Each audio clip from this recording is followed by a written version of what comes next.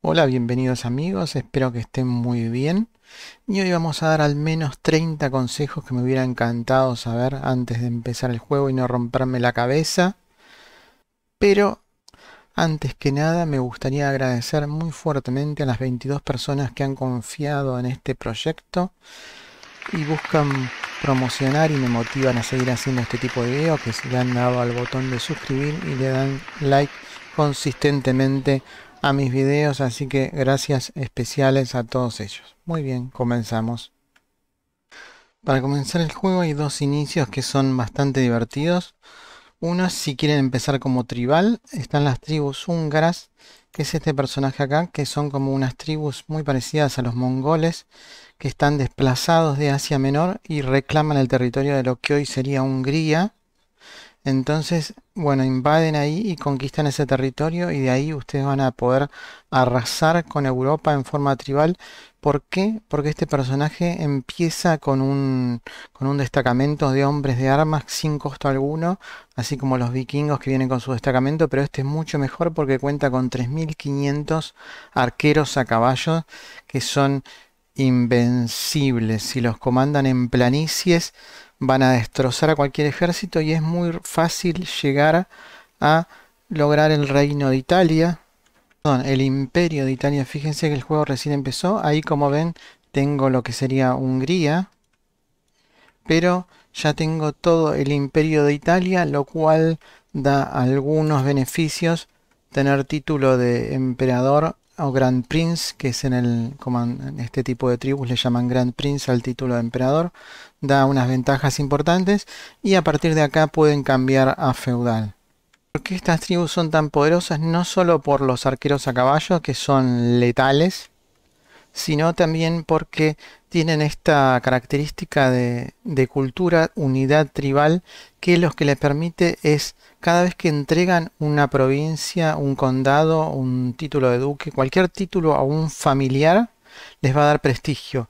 Y como estos ejércitos se mantienen con prestigio, van a tener eh, una fuente ilimitada de prestigio porque van a estar invadiendo de forma muy fácil y transfiriendo. Cada condado paga 75 pero el juego empieza con el padre de este muchacho que la esposa ya es infértil, tiene un solo hijo y a su vez puede declarar una guerra por un reino y como ya está viejo pueden conquistar ya un reino con él y con el hijo conquistan otro reino y después otro reino por eh, guerra religiosa y ya está, tienen tres reinos y tienen el reino de Italia perdón, el imperio de Italia. También muy divertido con los tribales es que permite tener hombres de armas de hasta 500 en lugar de los 300 que empiezan con los feudales y pueden tener más destacamentos que cuando empiezan con los feudales. Con los feudales empiezan con 3 destacamentos, con los tribales como este empiezan con 5. Es decir, que son 900 hombres de armas regulares, por ahí empezando como anglosajón, contra 2.500 hombres de armas de élite empezando como mongoles. Por eso es como si les gusta destrozar ejércitos, estos son muy divertidos y aparte tienen otra ventaja estas unidades que tienen un nivel de pursuit bastante altísimo 40, lo que hace que cuando ganan una batalla van a prácticamente aniquilar y capturar a todos los prisioneros, con lo cual van a tener ganancia por rehenes.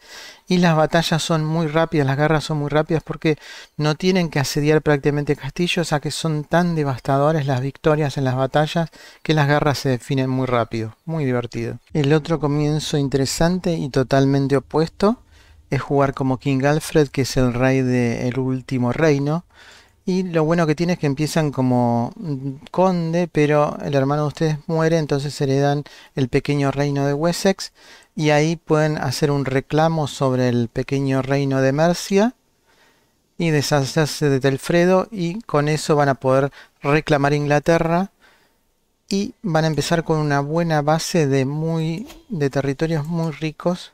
Bueno, acá ya me estoy expandiendo un poco pero los pueden empezar a trabajar ya de temprano. Acá estoy por nivel 2 recién y los ingresos son de 46 monedas de oro y eso que tengo habilitada la corte con niveles de gasto bastante altos por lo que el ingreso real es de unos 60 y pico monedas de oro que está muy bien Y acá la forma es totalmente diferente porque Alfred es inteligente, entonces ya no es la barbarie sino la sofisticación. La idea acá es formar, ustedes que formen a su heredero, van a ser el tutor del heredero, busquen a una esposa con mucha inteligencia para que el hijo sea genio, entonces lo van a formar en administración, como son ustedes, son muy buenos en administración, acá a nivel 30, y lo van a formar en administración a un chico ni genio y a su vez ese va a formar al hijo del hijo y van a agregar tal vez cosas a, a, su cultura como por ejemplo storyteller que va a aumentar la cantidad de puntos y de esa forma van a ir aumentando cada vez más el número de dominios. Ahora estoy en 12 que puedo administrar pero van a poder llegar hasta 16 aproximadamente. Y con eso les va a permitir tener un ejército estándar nomás bastante fuerte, 8200 unidades, solamente prácticamente el 90% de eso viene de los dominios propios, o sea que les va a dar mucha independencia económica y militar para expandirse y es una forma bastante fácil y segura de, jugar el juego. las que les mostré recién tribal necesitan ser un poco más expertos. Esta es como mucho más fácil y convencional. Si están jugando como tribal, les aconsejo que cambien su religión a la religión del, objetivo al que están atacando. Por ejemplo, como las tribus húngaras atacan en Europa y yo cambié mi religión al cristianismo y de esa forma en lugar de gastar prestigio, 75 de prestigio por el ataque, voy a estar gastando piedad, solo 25 de piedad, que es muy poquito, y de esa forma van a conservar el prestigio que es lo más importante como tribal. Otro consejo es cuando son varios objetivos pequeños, como por ejemplo condados de territorios chiquititos, y son tienen un ejército importante, les aconsejo que les declaren la guerra a los cinco pequeños condes al mismo tiempo y de esa forma van conquistando uno, uno, uno. ¿Por qué? Porque movilizar y desmovilizar el ejército toma tiempo y tiempo es dinero en el Crusader King 3, así que declaran la guerra todos juntos y los van arrasando todos juntos y van a ganar mucho en velocidad. Sobre todo al inicio del juego, a sus hijas cásenlas en forma matrimonial porque necesitan expandir la dinastía para ganar nivel de esplendor y renombre y al principio la familia es bastante chiquita, así que sí o sí todas las hijas cásenlas en forma matrimonial por alianzas o con gente con que tenga características como genio, así van mejorando la genética. Idealmente traten de casar a sus hijas, a una con un genio, a otro con alguien muy bello y a, alguien, y a otro con fuerza herculiana. Entonces van a ir teniendo tres ramas con las diferentes características y después se van convirtiendo en parientes lejanos y los pueden casar entre ellos. Ya van a tener cada uno dos características, por ejemplo, genio y bello, herculiano y bello o genio y herculiano y van incrementando las chances de obtener las tres características genéticas que les va a permitir tomar la decisión de mejorar la, la línea de sangre, que eso les va a dar un bono permanente a todas las futuras generaciones que van a heredar los tres rasgos y se va a convertir el juego en espectacular. Si empiezan como feudal, es súper aconsejable tener relaciones con el Papa. En esta jugada me estuvo mandando, cuando empezó el juego, 150 monedas de oro prácticamente todos los años o cada dos años, no sé bien cuánto es la fecha, pero bastante seguido. Y en el último pago fue de 600 monedas de oro. Para mejorar la relación con el Papa, tienen que mandarle pupilos. La opción está acá abajo. Offerward también pueden aprender el lenguaje del Papa y también pueden seducirlo con Shuai. Todo eso va a mejorar la relación con el Papa y también le pueden dar algún título, Grand Title, algún título que no les interese y eso lo va a poner súper contento al Papa. La otra forma eh, es en que lo hago casi siempre, porque si son cristianos les va a dar unas características bastante importantes por un tiempo bastante largo, es hacer una peregrinación, no a Jerusalén, sino a alguno de los lugares más baratos, y eso les va a dar una bonificación constante de piedad, un monto fijo de piedad, y al mismo tiempo va a mejorar en forma permanente la relación con el Papa, así que van a recuperar el dinero prácticamente en forma instantánea. También les aconsejo que inmediatamente descubran esta característica de personalidad dentro de administración que les va a pedir exigir, les va a permitir exigir dinero a los vasallos y es una suma bastante importante de dinero y bastante seguida cuando más vasallos tienen, es casi una ametralladora de dinero. Y se les va a presentar esta opción que es Exhort Subject por acá abajo que les aconsejo que la dejen marcada con el checkbox, así se dispara cada vez que llega y les va a presentar una ventanita que tienen que decidir entre dos opciones. Elijan siempre la que obtienen más dinero, que van a obtener al mismo tiempo un poco de, de dread, que es el terror que siente la población por ustedes, que no es algo malo, sino es algo bueno si está bien usado. Y si juegan como tribales, pero en realidad en cualquiera de los dos. Del árbol militar me gusta esta porque baja el 50% el costo de declaración, que como les decía, cuando son tribales eh, no tienen mucha, mucho prestigio ni piedad, así que cada declaración de guerra va a costar un poquito y con esto cortan a la mitad. El que está muy bueno también es este, que va a agilizar la velocidad de los asedios, casi en un 50%, lo cual está buenísimo sumado con las catapultas, hacen asedios muy rápidos. Si están jugando como feudales, en el árbol diplomático esta opción es muy poderosa, que es True Leader, que combinado con la corte diplomática, la corte diplomática es esta, no, perdón, corte diplomática, segunda opción, acá abajo, bueno, corte administrativa hasta ahora, y acá tiene la opción de cambiar a corte diplomática. La corte diplomática lo que va a permitir es anexar masivamente junto con True Leader a diferentes vasallos y de esa forma es la forma más rápida de conquistar toda Europa. Una vez que llegan a corte diplomática a nivel 10 con True Leader se van a empezar a, ofrecer ser vasallos todos los territorios eh, que estén alrededor de ustedes siempre y cuando aumenten la aceptación cultural. Entonces para eso el siguiente tip Fíjense acá, tengo toda Europa conquistada y lo conquisté con eso, con la corte diplomática y True Leader. Entonces para eso lo que hice fue establecer bases en diferentes lugares, diferentes colonias y ahí se empieza a disparar lo que se llama aceptación cultural que eh, alrededor de las provincias de ustedes va a incrementar la aceptación con la cultura de ustedes. Si ustedes convierten a esta condado a la cultura de ustedes, bueno, se va a empezar a contagiar por ahí, por acá, por acá y a su vez los vasallos que van a ofrecerse para ser parte del, imperio de ustedes, por acá también hay territorios, tienen que estar pegados a una provincia de ustedes y darse ciertas condiciones. Entonces al tener más puntos por todos lados, se va incrementando exponencialmente las chances de que se quieran unir y cuando más grandes son, más fácil se hace como una bola de nieve. Fíjense acá, ya tenemos 10 imperios, cada imperio tiene entre 3 y 7 reinos o uno entre uno y seis reinos, así que bueno, es un logro bastante interesante.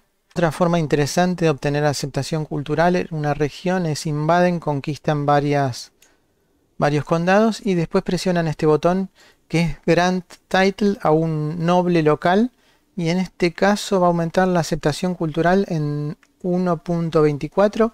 El máximo que he visto es 2.5 y el mínimo 0.5 en base a los modificadores que tienen culturales, este número puede ser más grande. Pero imagínense que si llegan a, con solamente una aceptación cultural de uno, con que conquisten unas 20 provincias, ya van a tener un 20% de aceptación cultural. Y con 40 ya va a ser suficiente como para integrar esa cultura a la cultura de ustedes.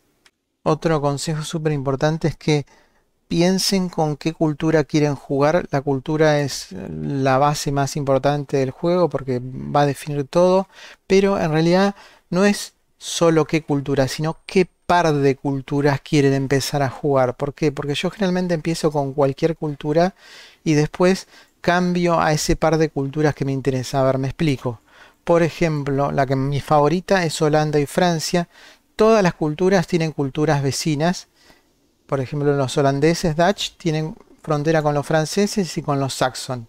Entonces van a ir ganando aceptación cultural.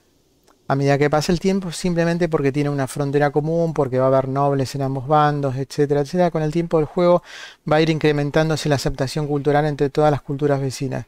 Entonces, con tener una provincia en Francia y una en Holanda, yo puedo hacer, siendo holandés o francés, cambio mi cultura primero a la holandesa y a la francesa y después hago una cultura integrada entre ambas dos y por lo tanto voy a tener 100% de aceptación en Holanda y 100% de aceptación en Francia, más los beneficios de ambas culturas.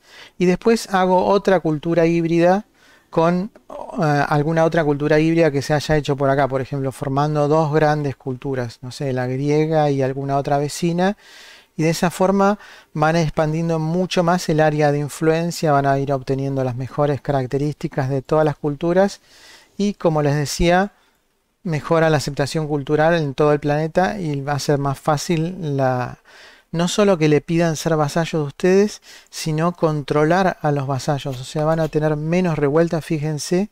Tengo solamente amenazas de campesinos prácticamente. Acá hay una sola importante que tiene mínimo un par de vasallos. Imagínense que tengo 10 imperios abajo. El ejército es bastante importante. Estamos hablando de 50.000 soldados solo de mi ejército. Eh, entonces es importante que los vasallos sean de él una cultura que, tengan buena aceptación con ustedes. Hay algunas características de culturas que son súper importantes, por ejemplo, si juegan como feudales, storytellers o contadores de historias que tienen los nórdicos, pero recuerden que simplemente con reformándola le pueden agregar, lo que pasa que ahora ya estoy al máximo, que son 7. Eh, lo que hace es que si ustedes son guardianes, o sea, educadores, tienen algún pupilo y que tienen que tener, le van a dar más puntos. Entonces yo empiezo como un buen administrador, en este caso nivel 37 de administración, y mi pupilo, que sería el heredero, lo, formé yo, y bueno, tiene 31, es más chiquito todavía, pero fíjense que es genio, bello, hermoso, todo esto es parte de lo que le decía de las características genéticas que se heredan y, bueno, van formando de generación en generación y esto como les había dicho aumenta el tamaño del dominio. Ven acá está en 15 el tamaño del dominio. O sea que Storytellers es una característica importante. Otra que es fundamental cuando el imperio crece es agrario. ¿Por qué? Porque ah, les va a dar el trade a muchos de los pasallos de ustedes de satisfecho, content, es el platito de sopa, a ver si vemos alguno o nosotros mismos lo tenemos. Ven este platito de sopa, content, bueno, tiene algunos beneficios interesantes, pero lo más importante es que es el opuesto de ambicioso. Y los vasallos ambiciosos son muy, muy peligrosos. Y si son, tienen vasallos con el trait de satisfecho, nunca pueden ser ambiciosos porque son opuestos y así como el ambicioso le encanta unirse a las revueltas y causarles problemas, el vasallo satisfecho da cero problemas. Otra que les va a ahorrar dolores de cabeza es loyal subject o sujetos leales. Va a hacer que los vasallos de ustedes sean obviamente mucho más leales y cuando empiezan a tener un imperio grande es súper importante evitar las rebeliones así que que sean satisfechos combinado con subject leales cero posibilidad de rebelión.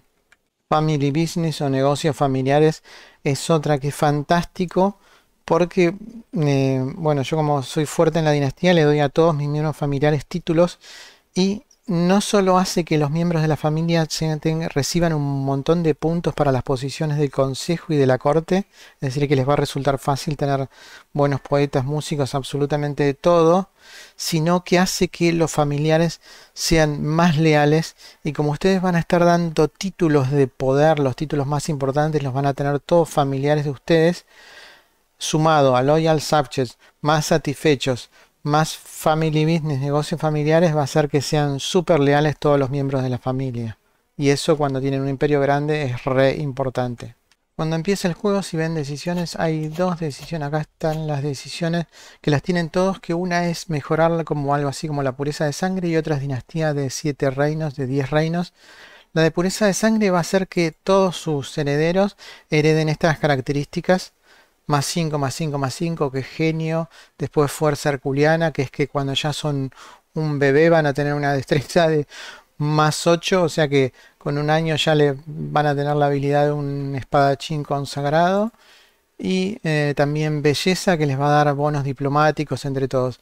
Entonces, van a ir apuntando a conseguir eso, casándose siempre, como les decía, con las diferentes ramas y combinándolas con gente bella. Y la segunda súper importante es Dinastía de los Diez Reinos, que acá se ve la bonificación, Dinastía de los Reinos. Eh, mm, vamos a ver, a ver si me la, me la muestra.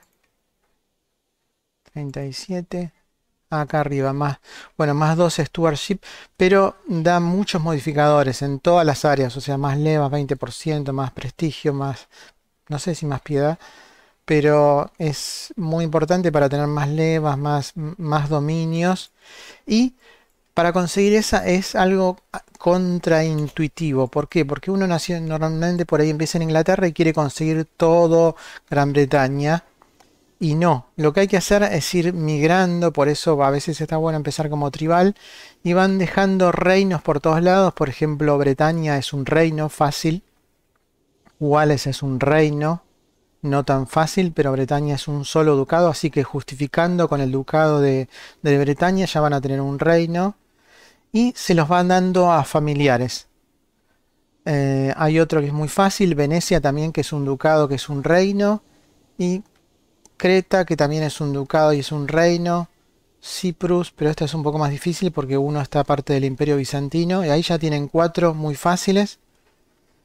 Eh, también les aconsejo poner una base acá en Sardinia porque hay una mina de plata que me da una tonelada de dinero. Hay tres minas de oro en África también, pero esta es muy fácil de conseguir y poco defendida, así que siempre muevo la capital acá. Les va a dar tres minas de oro, tres monedas de oro ya de entrada. Pero como les decía, al distribuir los reinos entre familiares, van a tener 10 familiares con cada uno con un reino, 9 familiares y ustedes, y ahí van a poder largar la decisión esa de dinastía de los 10 reinos, y a su vez, al ser reinos separados, van a ganar renombre, ustedes van a tener un, base de más 10, ahora ya, bueno, eh, es otro tema, pero cada rey va a ganar 10 de dinastía, pongámosle. Y ustedes, como son, no sé, 20 familiares independientes, 10 familiares independientes, cada miembro de la familia va a aportar al renombre familiar, que es el que está abajo de lo de dinastía. Entonces, la ganancia que, de renombre para llegar al, que les va a dar a su vez beneficios que van a quedar de por vida, va a ir aumentando exponencialmente y ya de entrada. También van a tener el beneficio de que se van a convertir en house members. Acá no tengo ninguno porque ya como que domino todo el mundo, están todos abajo mío. Pero si son independientes, van a tener 10 reyes que los van a ayudar en todas las guerras ofensivas y defensivas de forma gratuita. Es decir, no les van a cobrar prestigio por la ayuda. Bien, cuando tengan un ejército bastante importante, muchas provincias distribuidas por todos lados, van a tener el problema de que cuando apretan Race Army va a estar horas reclutando, reclutando, reclutando de todo el mundo. Y por ahí lo que ustedes necesitan es un simple ejército para vencer a un vikingo. Entonces lo que tienen que hacer es lo siguiente, vamos a buscar el ejército. Bueno, acá está, son un montón de ejércitos. Pero supongamos que en lugar de esperar a que vengan todos, ya está, reclutaron 15.000 soldados para vencer a un ejército de 800, apretan control, botón derecho y eso es orden de movimiento instantánea. Es importante para cazar a los vikingos, por ejemplo, para cazar a los raiders. Imagínense que con un ejército de 50.000, normalmente los enemigos tienen 1.000 y no pueden estar esperando a que vengan los 49.000. Con que junten ya 3.000, mándenlo inmediatamente con las fuerzas locales y conquistan. Y por otro lado, hay otro tema que no se conoce mucho, que es en las guerras, cuando ustedes derrotan a vikingos, van a ganar prestigio y eh, fama. En cambio, cuando son guerras de ustedes, solamente van a ganar fama. Eso es importante cuando son tribales, por ejemplo. Lo mismo pasa con piedad. Y cuando ayudan a un aliado, ahí también van a ganar prestigio y fama, no solo fama. Esa es la forma que tiene el juego para incentivarlos a ayudar aliados. ¿Qué más interesante? Bueno, en el árbol de, de ciencia tienen esta que les va a mejorar junto con Storytellers. Es necesario tener esta. Y los hijos de ustedes van a tener más puntos todavía de aprendizaje. Después esta también está bueno porque ustedes van a ser el cabeza de, de familia, de cultura, perdón, el cabeza de cultura, y va a hacer que la cultura vaya mucho más rápido, la investigación. Esto, la innovación en la que están enfocados va a ir un 33% más rápido, que es un montón, así que también está buena. Bien, en el árbol de diplomacia busqué esta, que es la que los chicos reciben 3 puntos más de 1 a 3 de puntos de habilidad, skill points, que bueno, me soy obsesivo con, que tengan niveles de 20, 30 en, en las áreas que me interesan como administración. Esta decisión también está buena al principio porque les permite encargar un National Epic, que es como un libro que viene un escritor y toma relatos de la familia y es un libro bastante más poderoso que los libros convencionales y les da bonificadores permanentes que pueden llegar a ser por ejemplo más 7 en la opinión de los vasallos así que con dos de esos libros también se aseguran la, lealtad de los vasallos pero hay de múltiples usos. Por si no lo sabían también todas las culturas tienen lo que es un etos que es algo que queda como fijo en la cultura y para cambiarlo hay que divergir la cultura, entonces yo lo que hago es hacer una cultura híbrida entre dos culturas y una de las cuales tiene un etos que me interesa y el etos también le da bonificadores, pero va a influir con el tipo de, de corte, como les decía, hay cinco tipos de corte, acá estamos con la diplomática, y cada etos permite dos tipos de corte. Entonces eligen cuál de los cinco tipos de cortes es el que más les interesa y después, bueno, obviamente tratan de llegar a nivel 10 y va a hacer que ese tipo de cortes reciba más bonificadores, marcial o administrativa o diplomática. Mi favorita es la diplomática para la expansión. Necesitan ganar puntos de prestigio para hacer reformas culturales. Denle a nivel 5 en las fiestas. Acá están 3 para ahorrar un poco de dinero porque igual tengo nivel 10, pero lo ponen en 5 y lanzan una fiesta entre las opciones.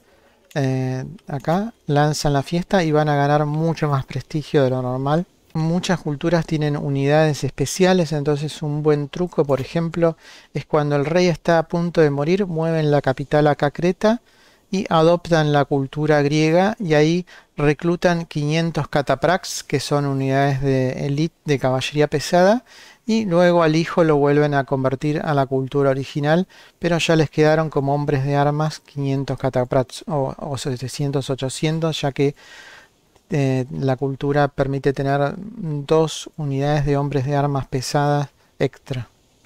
Hablando de unidades de elite, quizá hay una unidad invencible que está en esta cultura que está acá. Vamos a buscarla. Porque si tienen esta tradición en bueno, dentro de las tradiciones, le permite tener este tipo de unidad, que es una caballería de montaña. Son como los lobos de la montaña. Ups, ahí se me borró. Vamos a ponerla de nuevo para que vean las características. Botón para fijar.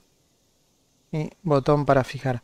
Y como ven, tiene más shock que la caballería convencional pero al mismo tiempo tienen bonificaciones en montañas o hills, que es rarísimo.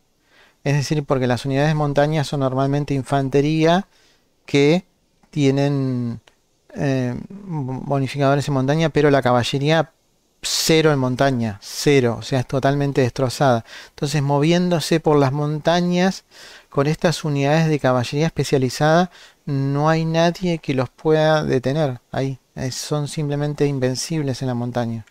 Sobre localidades interesantes, hay localidades en todo el mapa, les aconsejo que vean la wiki sobre ubicaciones, pero están las minas de Mali, que son tres minas de oro, así como yo tengo la mina de Argentan, que es de, de plata, y me está generando, vamos a ver, bueno, tengo muy poco control en este momento, por eso está generando solamente la provincia 8, pero si no llega con control de 100 tres veces más, pongámosle 24 de ingresos y es una mina de plata. Imagínense esas tres provincias de Mali que tienen minas de oro cada una que generan 5 de base en lugar de 3 y las empiezan a hacer upgrades.